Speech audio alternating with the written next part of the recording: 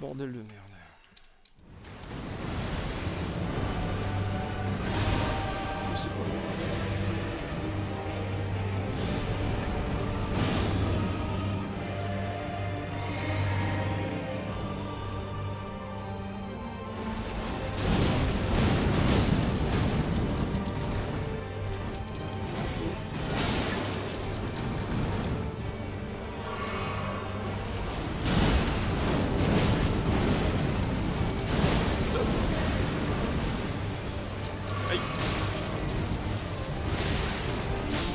putain, vous avez fait trop mal.